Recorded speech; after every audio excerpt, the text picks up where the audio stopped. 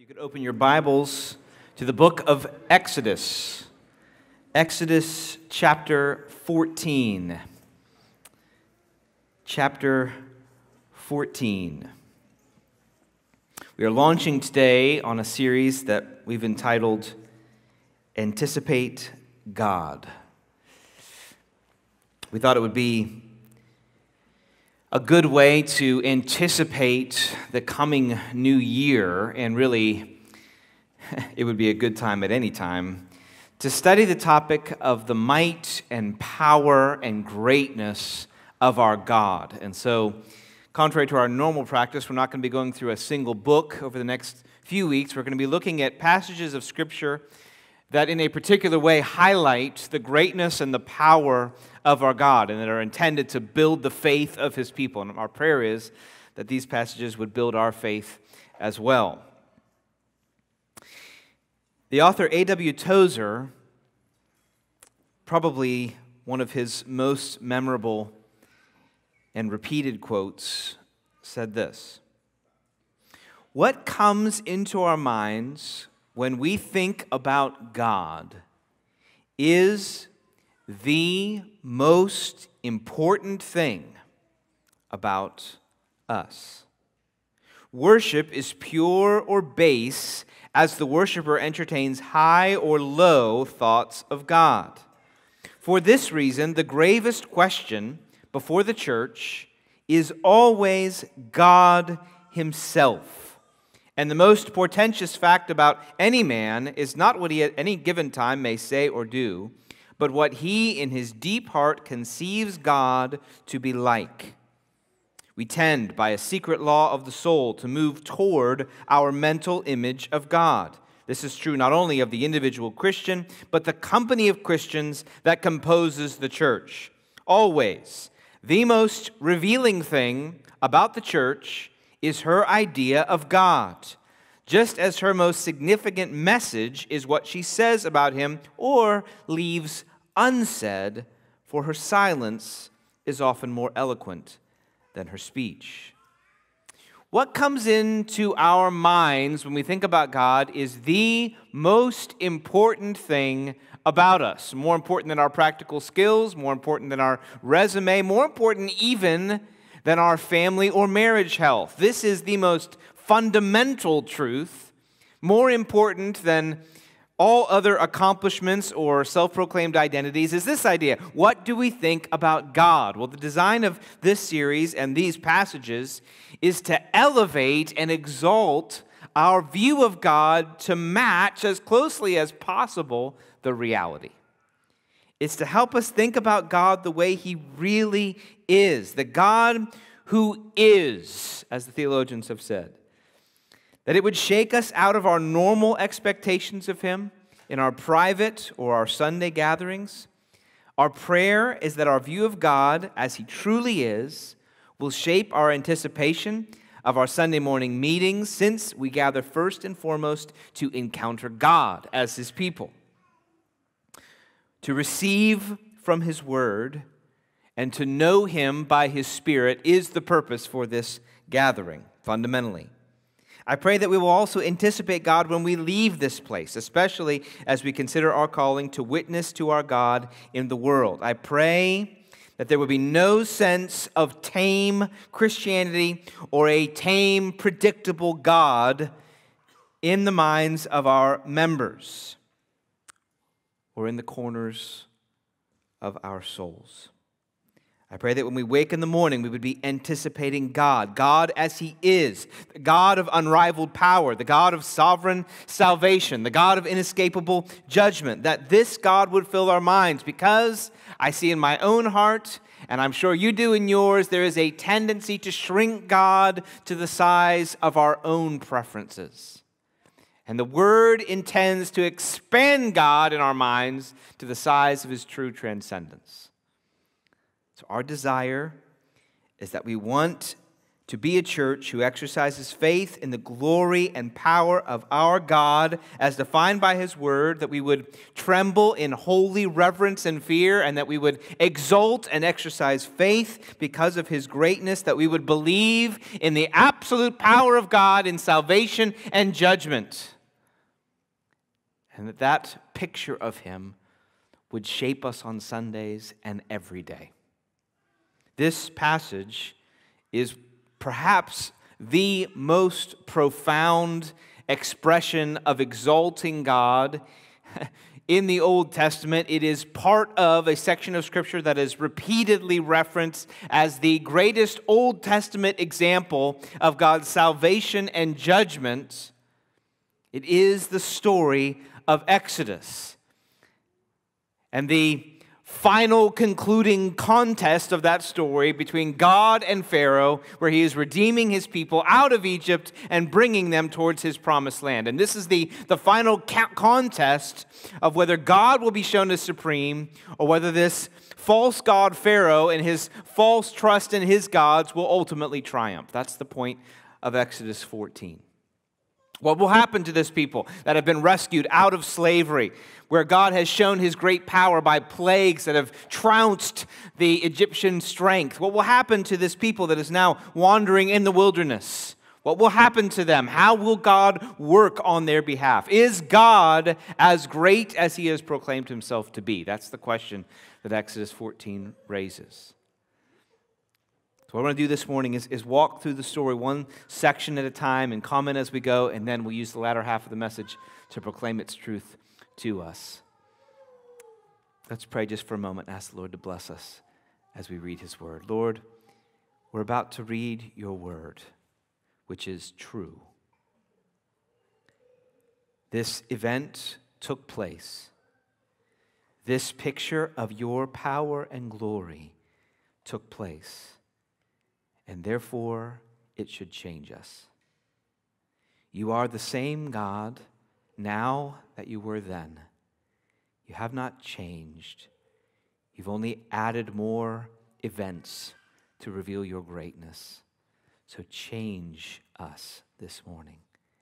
Change me by the reading of your word. In Jesus' name we pray. Amen. Let's dive in. You can essentially divide this story, the crossing of the Red Sea story, into two major parts and one conclusion. So, the first part I might label God's plans, just to give us a narrative peg uh, to hang on the opening section of this story. God's plans, and then God's power might be the second part. And the final conclusion we might label God's people. Let's begin looking at this opening section. We'll walk through it uh, sort of one couple of paragraphs at a time. Exodus chapter 14, verse 1. Then the Lord said to Moses, Tell the people of Israel to turn back and encamp in front of Pi Hahiroth, between Migdol and the sea, in front of Baal Zephon. You shall camp facing it by the sea. For Pharaoh will say of the people of Israel, They are wandering in the land. The wilderness has shut them in. And I will harden Pharaoh's heart, and he will pursue them and I will get glory over Pharaoh and all his host, and the Egyptians shall know that I am the Lord. And they did so. When the king of Egypt was told that the people had fled, the mind of Pharaoh and his servants was changed toward the people. And they said, What is this that we have done? That we have let Israel go from serving us? So he made ready his chariot and took his army with him and took 600 chosen chariots and all the other chariots of Egypt with officers over all of them. And the Lord hardened the heart of Pharaoh, the king of Egypt, and he pursued the people of Israel while the people of Israel were going out defiantly.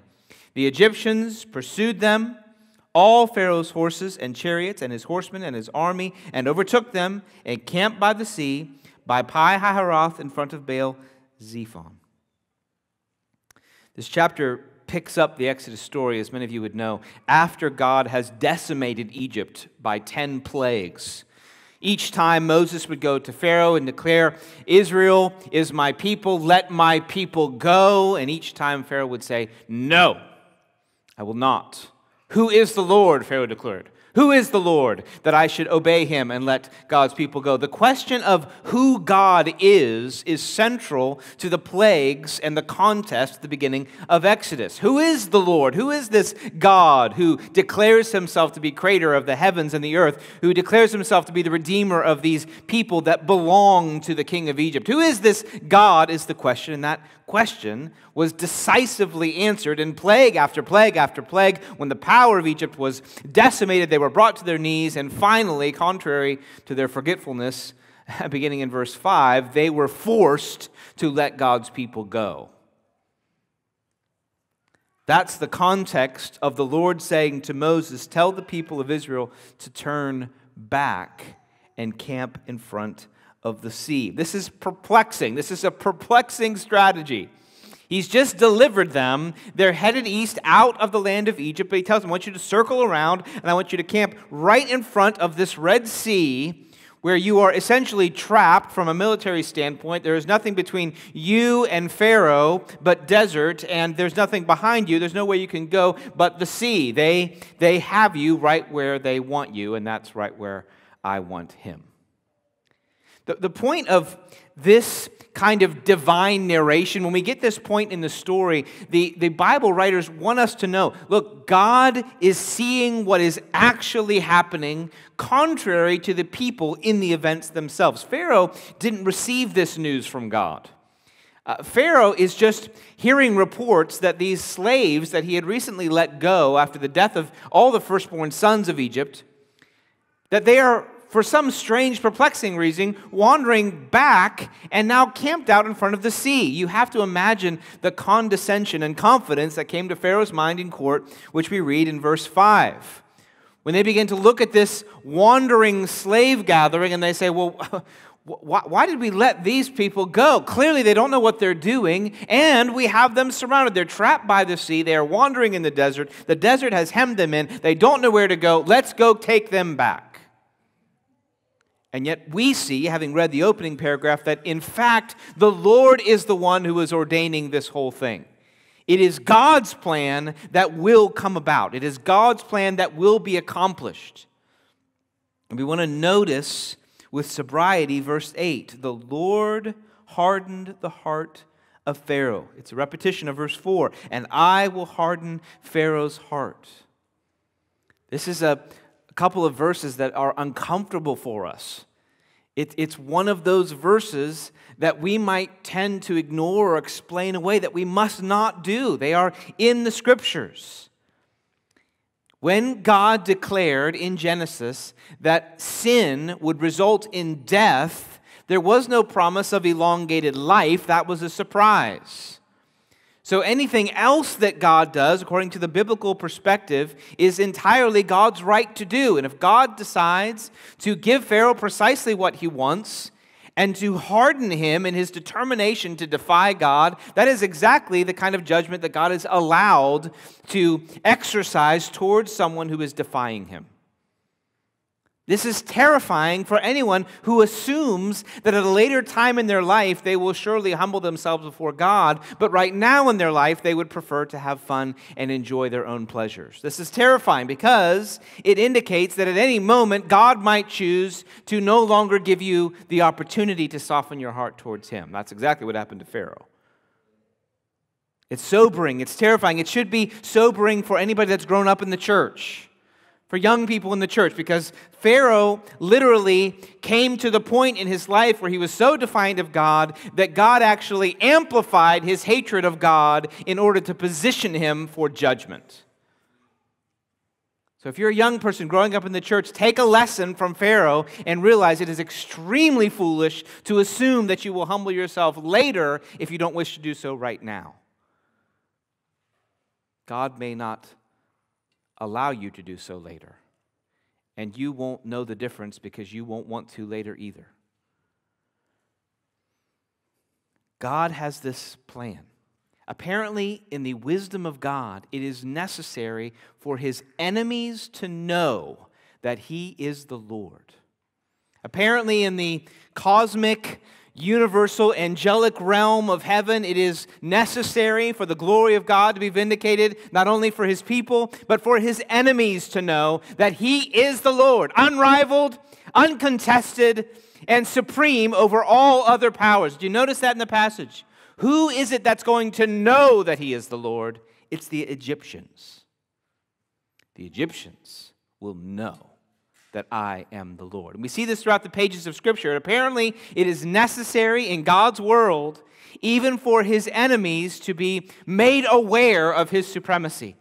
This is not any different from what we see in Philippians chapter 2, where it declares that every knee will bow, and every tongue will confess that Jesus Christ is Lord. It's just a repetition of this same passage. Even his enemies will know that he is supreme, and defying him and setting oneself up as a God, the way Pharaoh did, will ultimately lead to devastation. And not only devastation, but the knowledge of God's supremacy.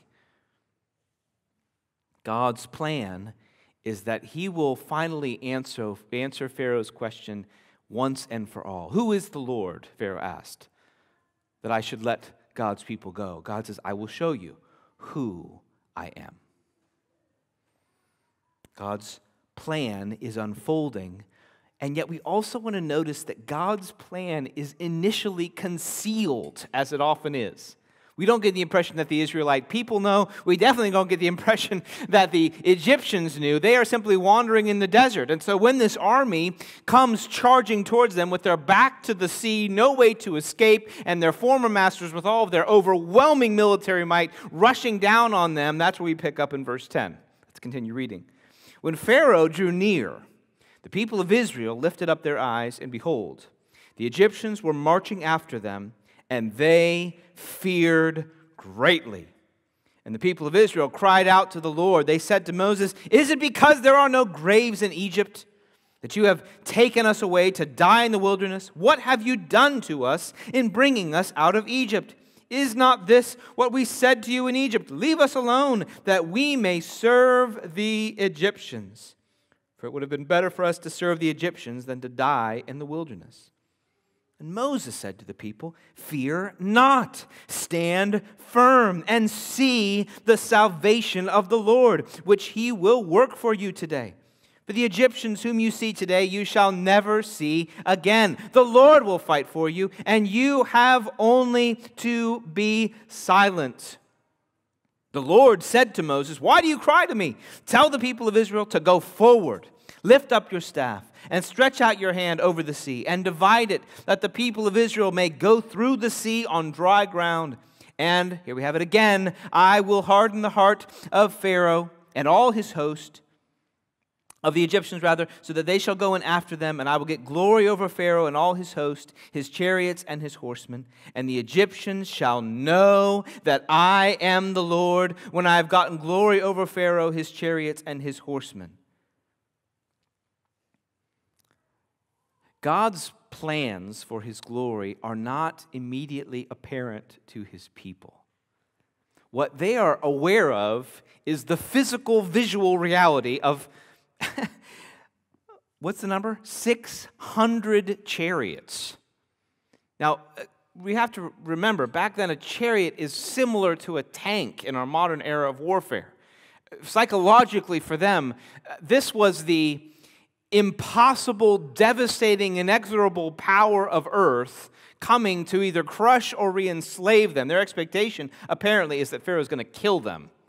I think it's more likely that Pharaoh is going to capture them, that's his design, and bring them back into slavery. But in any case, as they are looking at this chariot host, this army on horseback, rushing towards them, they have only one expectation death. What they can see before them indicates they are powerless, they are hopeless, and actually God has led them into this position. God has brought them to the place where their former master doesn't just want to enslave them, he apparently wants to kill them. And so they cry out to Moses, Isn't this what we said? We'd rather be slaves and alive than free and dead. Why did you bring us here, Moses? Moses, why did you do this? You notice how quickly God's people can forget the evidence of his power. They had just watched Egypt brought to their knees. Their crops were ruined. Their livestock were dead. The firstborn of all of their houses were killed.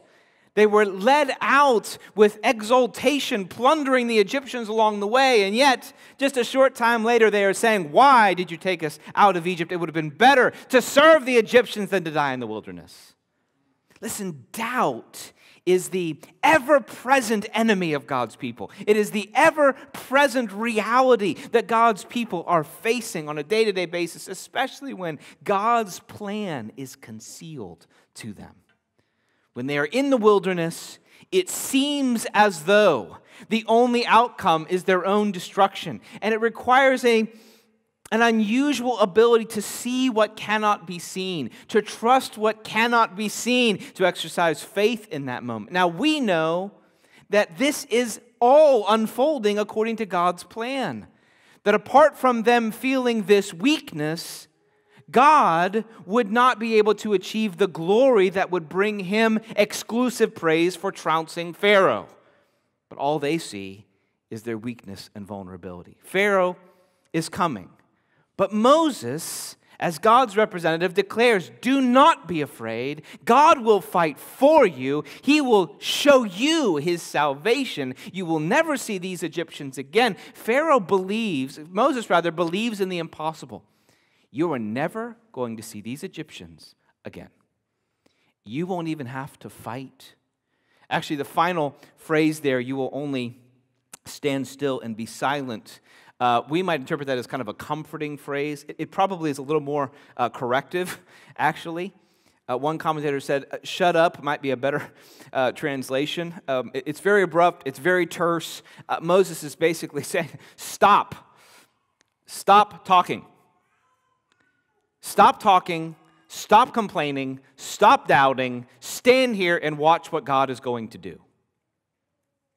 God's expectation is always that his people would believe in his greatness. God doesn't assume that his people will doubt his greatness. He assumes that people should believe in the greatness he has revealed. He assumes that of us, he assumes that of this people.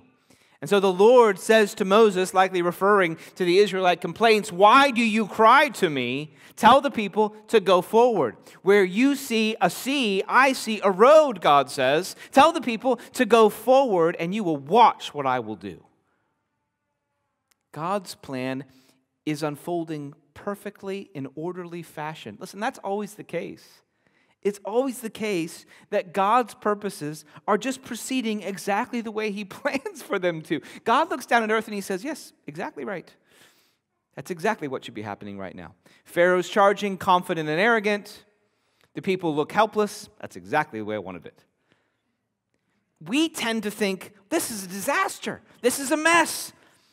Get something together, God. Organize yourself better. Plan better. Didn't you know there's a sea here? God says, Yes, I, I know that. I know exactly what's happening. It's proceeding exactly. So he, he feels almost like an, an administrator who's dealing literally with children. Get up and walk forward. There's a sense of directness about God's reply, isn't there?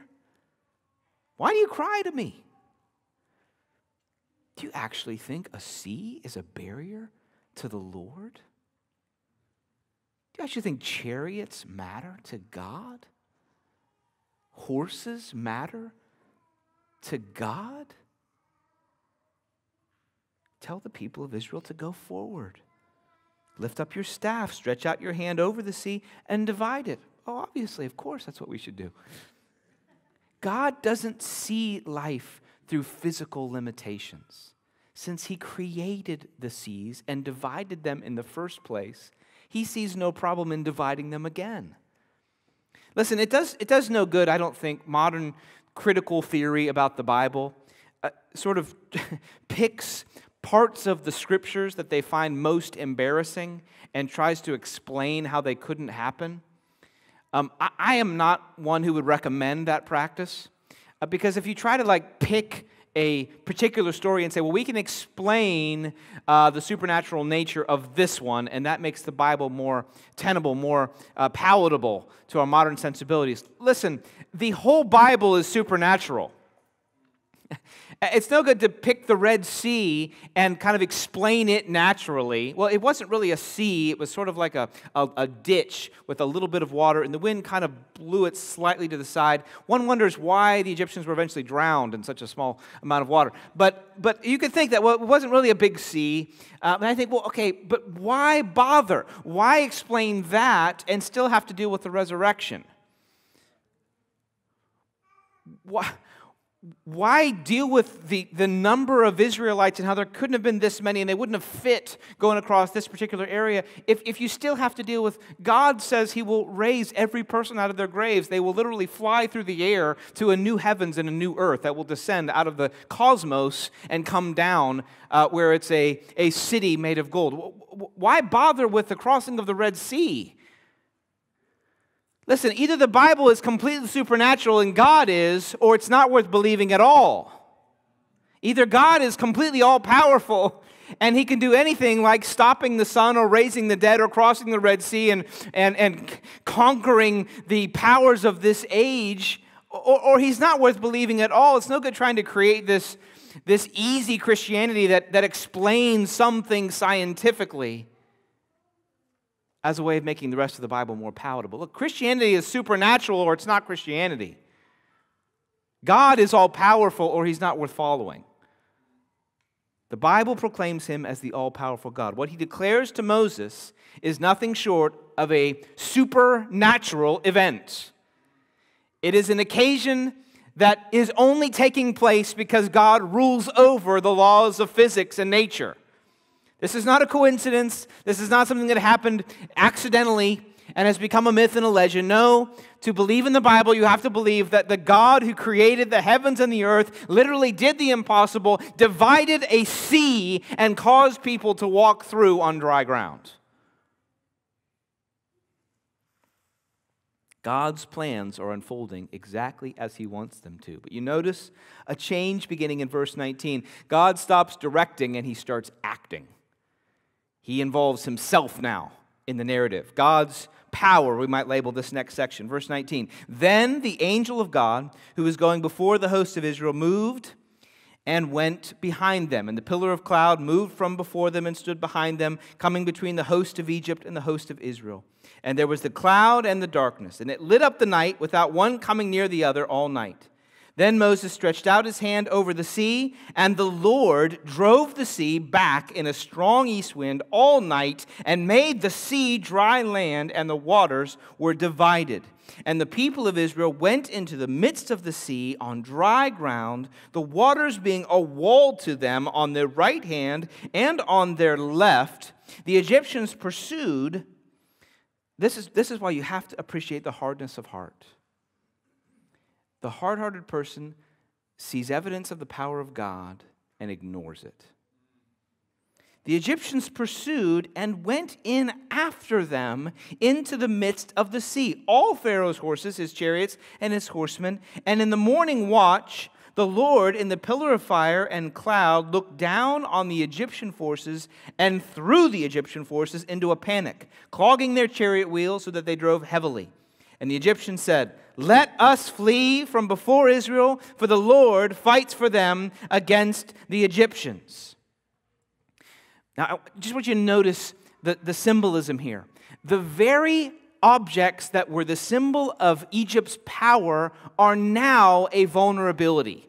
These heavy iron chariots that were their symbol of absolute power and dominion are now a liability because they're stuck in the mud and they can't drive heavily because God has basically come against them. Now they're stuck in the middle of the seabed with iron chariots that won't move, hitched to horses who can't pull them. God always does that. He takes precisely at the point that seems the greatest strength of his enemies and turns it into a weakness. That's exactly what happened at the cross. It is precisely at the point when their strength seems the strongest that becomes their weakness. You see what he did that with the, the, chariots here? Their, their very point of strength is now a liability. How do they get out now? And apparently, they finally realize, apparently, God finally opens their eyes. There's something supernatural going on here. The Lord is fighting for his people we need to, to feel the sheer terror of this moment for the Egyptians. They have driven blindly into the middle of this cavern of water.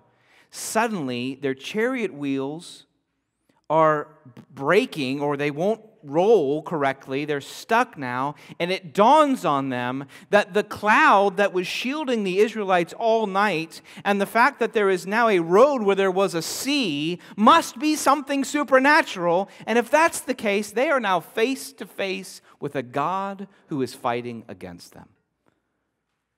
And suddenly, the reality of their foolishness is revealed. Listen, at the end of the age, there will be millions of people who will have this split second revelation. They will have seconds to realize I've been fighting God.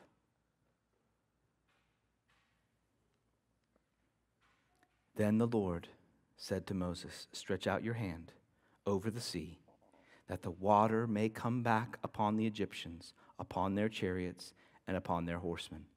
So Moses stretched out his hand over the sea, and the sea returned to its normal course when the morning appeared. And as the Egyptians fled into it, the Lord threw the Egyptians into the midst of the sea.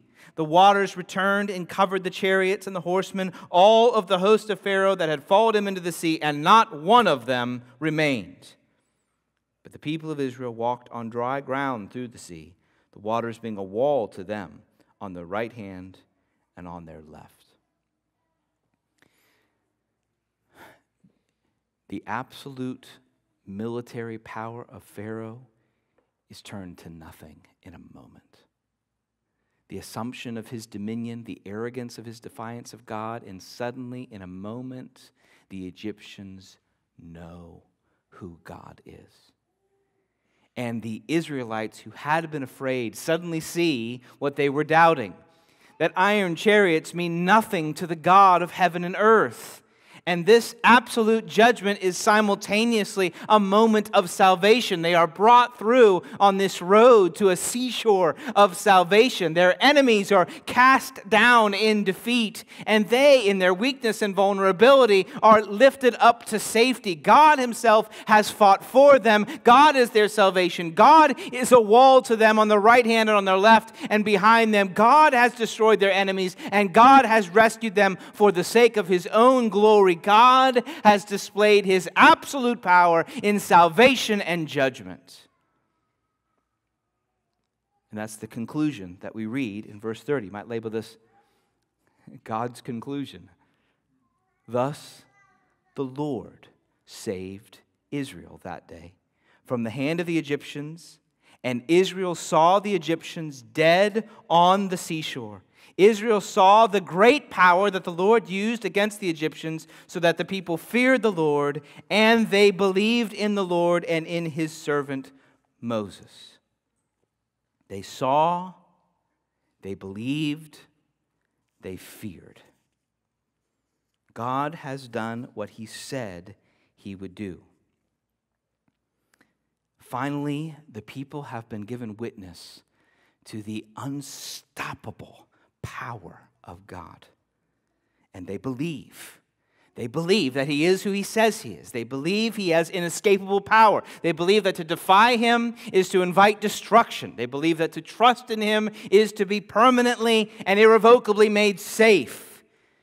They fear the Lord now rather than fearing Pharaoh. Pharaoh is not to be feared, but God is to be feared with a reverence and awe because of the greatness of his power and the certainty of his supremacy over all other powers on earth. Now, this story is referenced in the New Testament as a specific parallel to our salvation in Jesus Christ. The same God who conquered the Egyptian army and brought his people safely to the shore of salvation also conquered the ultimate enemies of God's people and triumphed over them in Christ and put them to open shame at the great moment of our exodus achieved at the cross.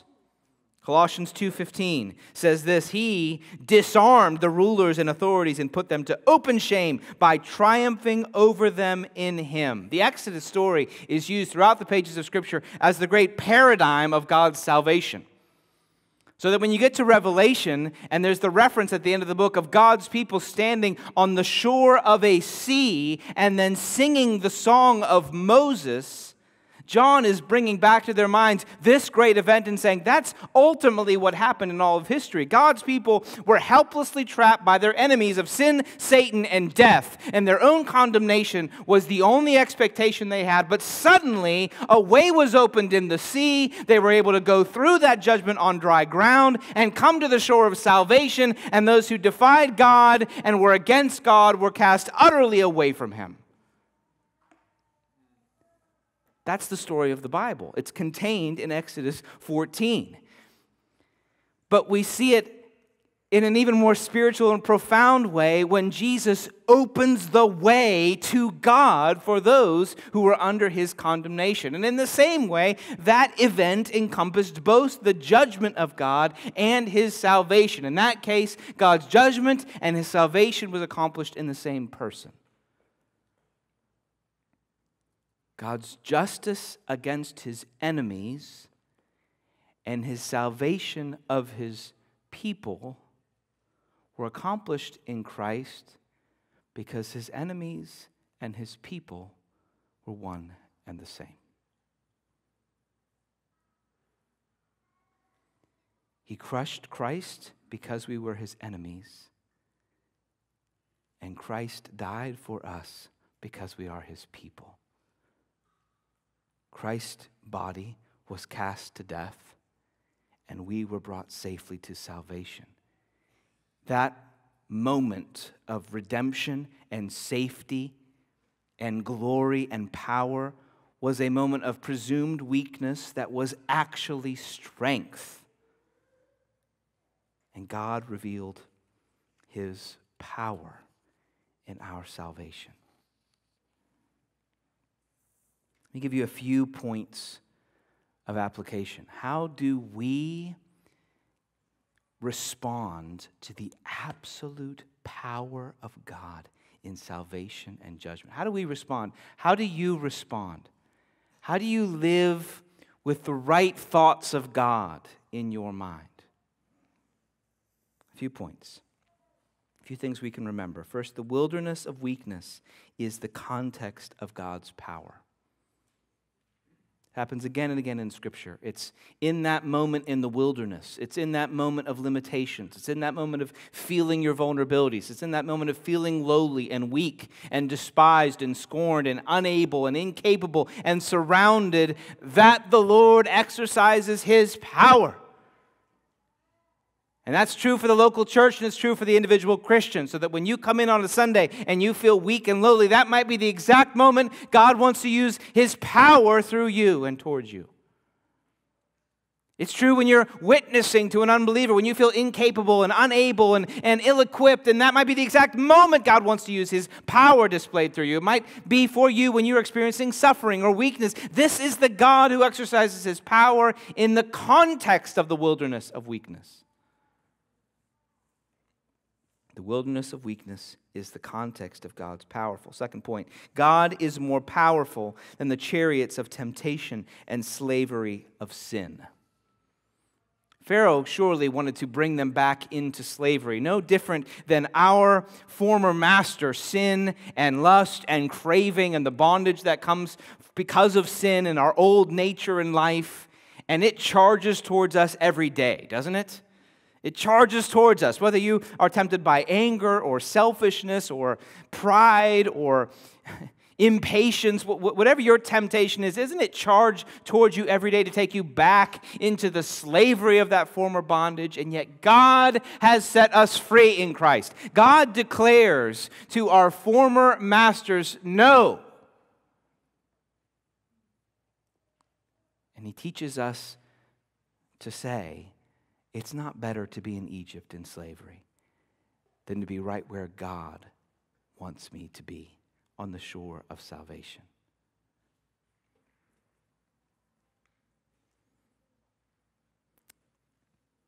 We are not to live under the yoke of that slavery again, and God is determined to keep us free from the bondage to our cravings.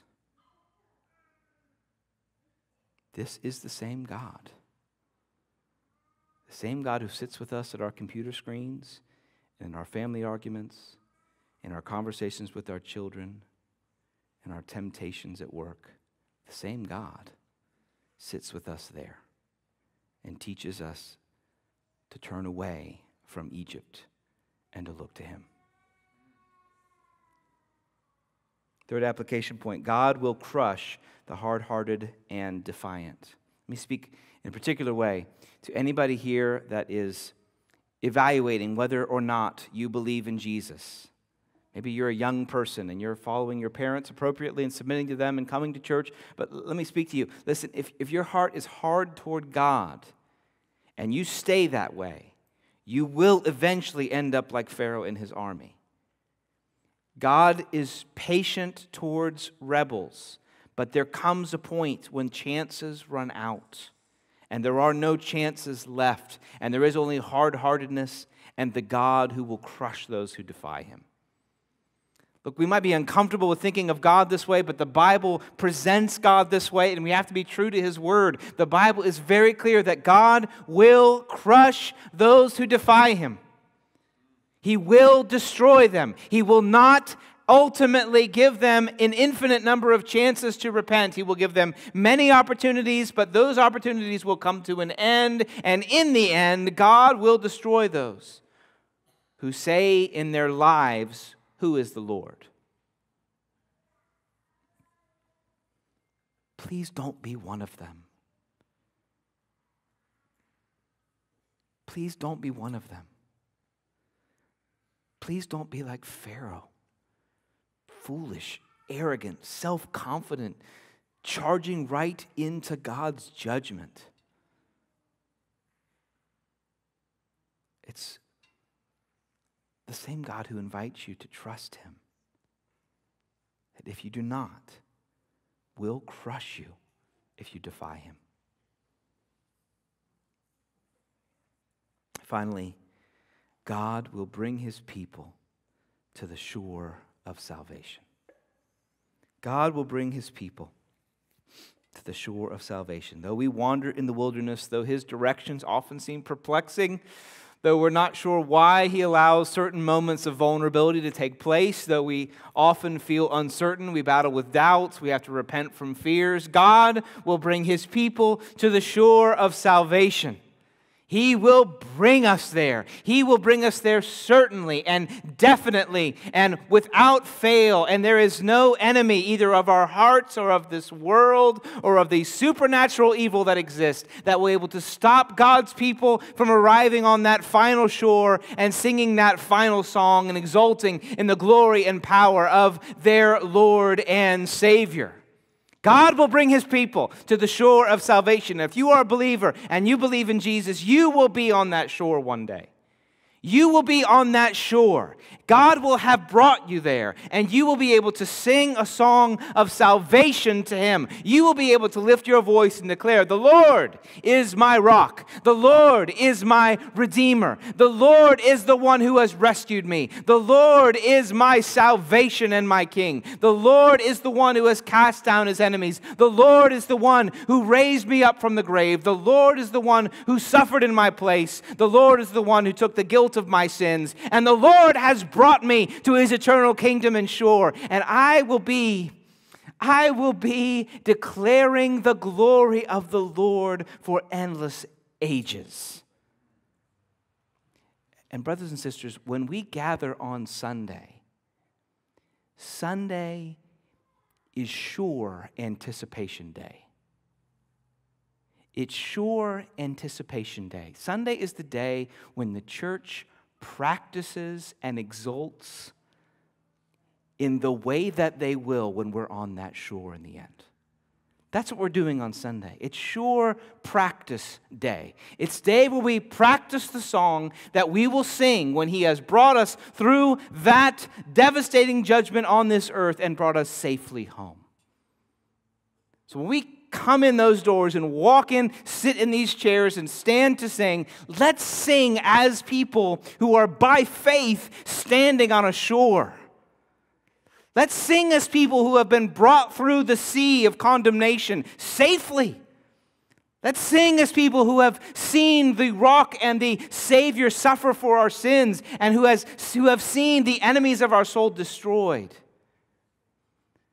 Let's sing and celebrate and listen and anticipate. This is sure anticipation day.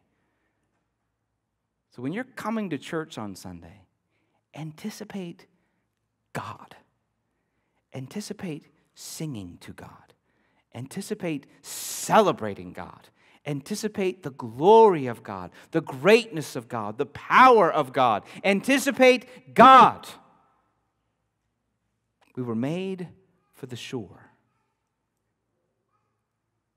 And every time we gather, we're a little closer. Let's pray.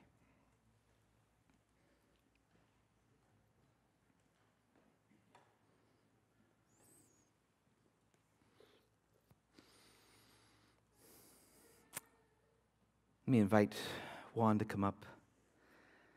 I guess to sing that song, O Lord, my rock and my redeemer.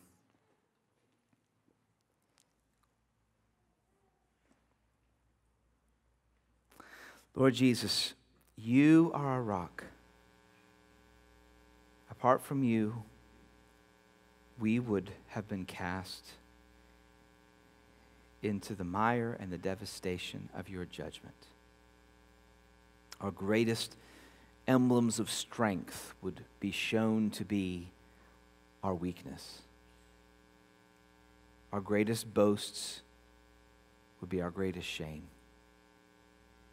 But Lord, instead, you have brought us safely through your judgment.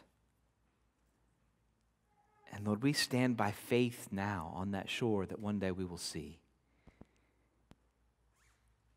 And we declare there is no one like you.